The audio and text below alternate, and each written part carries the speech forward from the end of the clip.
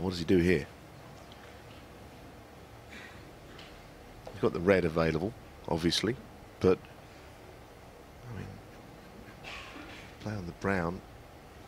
He could still win, but I don't know. Can't afford to keep playing on low value colours. One. Might be a shot to knock blue and pink out here. Might be what he was hoping for. It's gone a bit too far.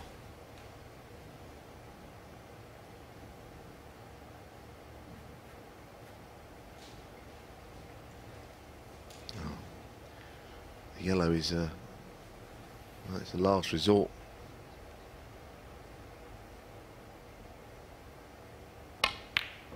They'll do ever so well to take three reds and blacks with the remaining reds where they are. Three.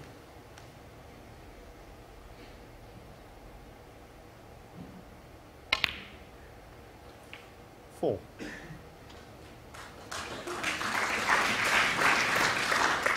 Well, I suppose if anyone can with his positional skills, Ding can. But you're right. Herculean task. Yes, it's the one down beyond baulk and behind the brown that's the real difficult one. He might be able to do something with the one up the table from this next shot.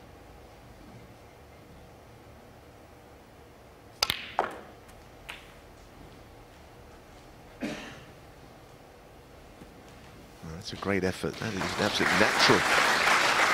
11. Interesting way of getting on the red.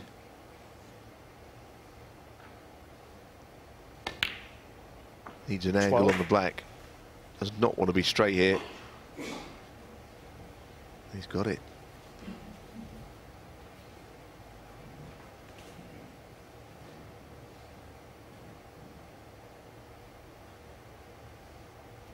Snooker throws up some unusual situations, but this is one. Very rarely would see a player trying to get on the black from the last red from where it's placed.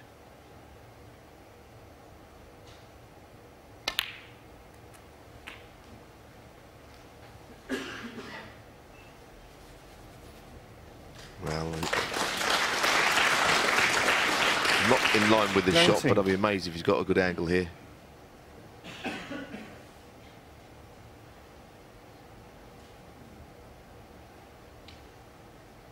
Probably anywhere but there.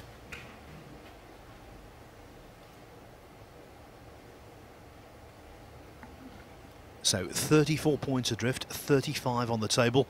The only colour he can pot to win the frame outright is the black. Yeah, oh, there's a chance he might not even go for this. he's really trying to use power. What a shot. What a shot that is. Magnificent. It was almost straight. And he pumped it around there with stun. And lorry loads the right-hand side. If you're looking in a snooker textbook for the terminology manufacturing an angle, that was the shot.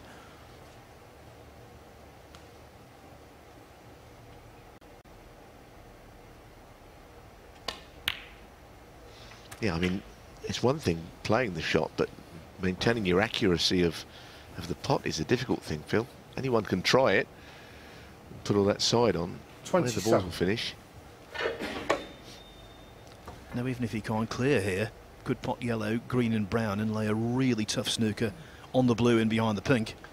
He could, but I tell you what he'd love to do, get a nice angle on either green or brown to develop those two, but you're absolutely right, that is another possibility.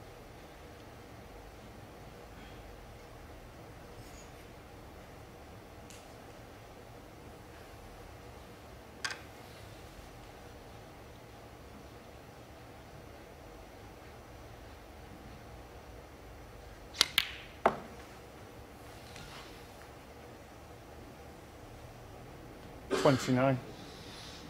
Uh, ah, well, short of pace. If he plays the cut, if we're playing with right hand check side, he doesn't want the cue ball to travel too far away from the brown.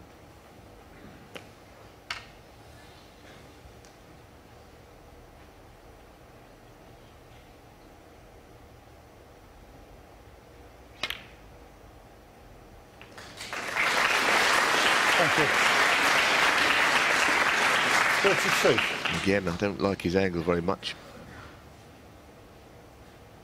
If he'd have been ball's width short of where he is now, he may have had a lovely shot.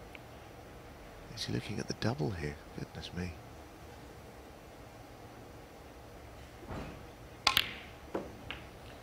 Thirty-six. I'm amazed. This would be another remarkable shot because he's probably going to push the pink out as well.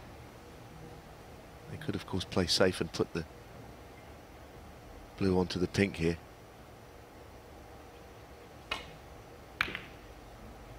What another amazing shot that is. If he clears up here, well, it's on one of the great clearances I've ever seen. Could not agree more.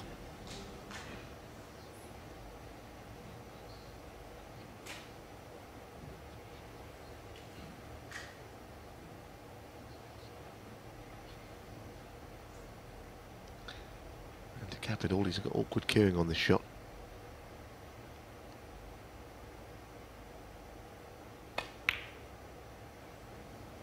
It's there. Forty-seven. Unbelievable, Phil.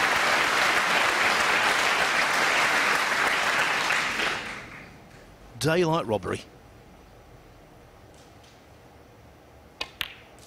Fifty-four. Absolute ding brilliance. Neil's right, that's one of the greatest clearances you are ever likely to see